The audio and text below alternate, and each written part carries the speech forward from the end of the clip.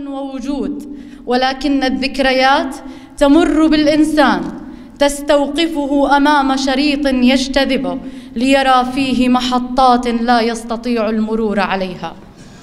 حاولت طويلا كتابة كلمة رثاء لأخي ولا أزعم لنفسي القدرة على تقديم شمائل وذكاء فقيدنا إذ حسبي أن أومي إلى سماتها وأتطلع إلى سمائها حقائق تشكل ما كان لأبي سليمان من شخصية وحياة حافلة رغم قصرها. إنها لتسمو وتتألق لا بمقدار ما أريد وما أوصف بل بمقدار عظمة صاحبها. لقد آتاه الله من أنعمه عقلا وفكرا ووطنية بالقدر الذي جعله أهلا أن يذكر وأن يتحدث عنه كابن بار بأبيه وأمه وأخا متسامحا موجها لنا وزوجا وفيا ومعطاء وأبا حنونا ومسؤولا وطبيبا مهنيا وإنسانا.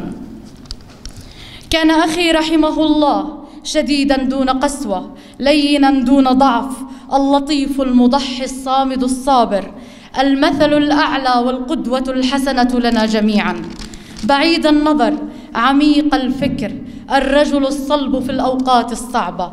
إضافة إلى تواضعه الشديد وحبه وتقديره للناس. نشأ أبو سليمان منذ نعومة أظفارنا مؤمنا بالقناعة وأن الوطنية الصحيحة بذل وعطاء تضحية وفداء لا أخذ ولا استجداء. الدكتور كانت بصيرته ثاقبة يتمتع بروح علمية عالية. أما في عمله المهني كان يحمل رسالة الحق حيثما نزل وأينما سار الكلام في راحلنا الكبير متعدد المناهل والسير فيه هي سير في أمور كثيرة ومتنوعة. كان محبا جدا لزملائه ونقابته. هذه المؤسسة التي تركت بصماتها على كل منحى من مناحي الحياة واستطاع القائمون من عليها من هيئات ولجان ومجالس نقابية مرورا بنقبائها وموظفيها أن يصلوا بالسفينة إلى بر الأمان وكان له الدور الأوفى في توثيق مفهوم وضوح الرؤية المؤدي إلى وضوح التعبير وكيف تؤدي الرؤى السامية ثمارها قوة في الحجة وضوحا في المنهج ثباتا في الخطى يقينا في الأداء وهيبة تعلو الهامات والهمم. وأن الفكرة الأسمى من تحقيق الذات والأرقى من شغل النفس بعمل هادف تلك التي توحد معتنقيها وتدفعهم بالذود عن حياضها ببسالة وإن اختلفت آراؤهم وتنافرت طباعهم. ذلك ذلك التفاني والاستعداد لبذل الغالي والنفيس في سبيل رفعتها. لقد غيب الموت إنسانا غاليا وعزيزا على قلوبنا. قامة عانقت عنان السماء في عطائها وتضحيتها. أقف أمام حضرة أخ استثنائي في القدرة على الجمع بين الحنان والحزم والإدارة الكفؤة.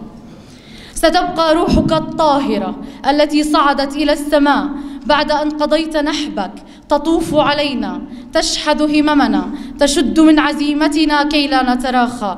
فطوبى إلى الأرض الطيبة التي احتضنت رفاتك فأنبتت زعترا وزيتونا ودحنونا وأنبتت كرامة وعزة وإباء. لك الله يا أمي. الحمد لله رب العالمين والصلاة والسلام على سيد المرسلين. ويعني زي ما حكى رسولنا الكريم صلى الله عليه وسلم إن العين لتدمع وإن القلب ليحزن وإن على فراقك يا أبو سليمان لمحزونين طوقوا رجال السلط وأهلها الأشاوس اليوم وأصدقاء المرحوم وزملاء أعناقنا بعمل حفل تأبين للفقيد الغالي الدكتور أبو سليمان. آه، الدكتور أشرف هو أخوي طبعا اللي اللي بعدي مباشرة. وهو تولى زمام الأمور بعد وفاة أبوي الله يرحمه اللي توفى قبل وفاة الدكتور بسنة ونص. آه، كان أخ حنون عطوف متجاوز عن كل الأخطاء ناصح موجه. هذا على الصعيد العائلي بحبنا وبحب بيته بحب أسرته وأولاده. وبار بأمي وبار بأبوي. وكان دائما آه، يمارس علينا دور الأخ الأكبر الموجه والنصوح. آه، والمتفاني لأجل استمرارية هاي العيلة. أما بالنسبة على الصعيد المهني فكان طبيب بارع في مهنته طبيب إنسان في تعامله مع مع آه، مرضى طبيب أخلاقه زي ما شفتوا بحفل التأبين عالية جدا. والحمد لله رب العالمين وهاي الثروة الحقيقية اللي تركها. آه، أما على الصعيد الوطني فكان آه، هو يعني من من من أكثر آه، الناس اللي بيساهموا بهموم المواطنين جميعا.